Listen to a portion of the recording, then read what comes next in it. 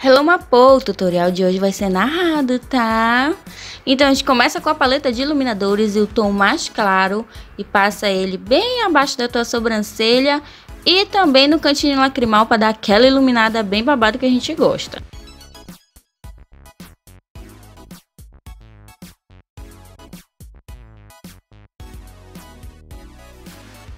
Em seguida, mana, eu venho com uma paleta, essa é a Leblanc da Eudora, tá? Primeiro a gente tira o craquelado do olho com a esponja. Depois a gente vem esfumando com marronzinho, marrom médio. Esse é o tom chocolate dessa paleta.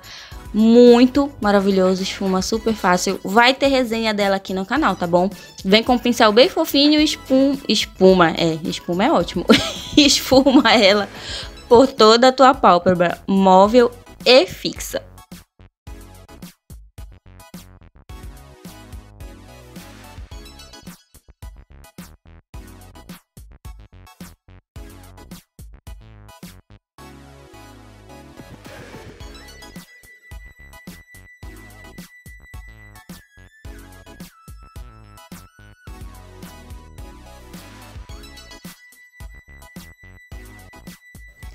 Depois do negócio muito bem esfumado, eu venho com o delineador em gel, esse é o Glam da Eudora, com um pincel bem fininho.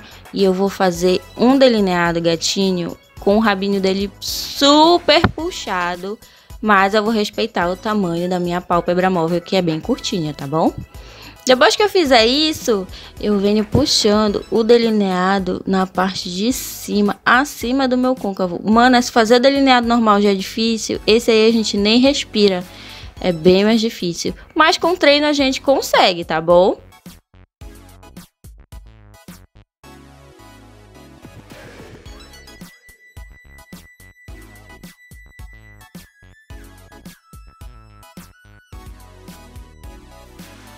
Com uma sombrazinha metalizada dourada, eu venho fazendo um segundo delineado por dentro desse gráfico que a gente fez. Presta bem atenção no que eu tô fazendo aí e faz exatamente assim, desse mesmo jeitinho. Aí vai ficar uma fitinha de glitter douradinha bem legal, bem maravilhosa. Fica muito bonitinho, quando bate a luz o reflexo fica top.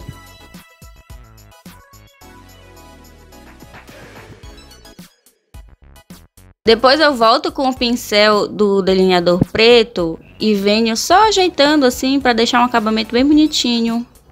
Depois eu faço um biquíni, tipo como se fosse do Fox Eye, com a sombra dourada. O bom é que o aplicador dela é bem fininho.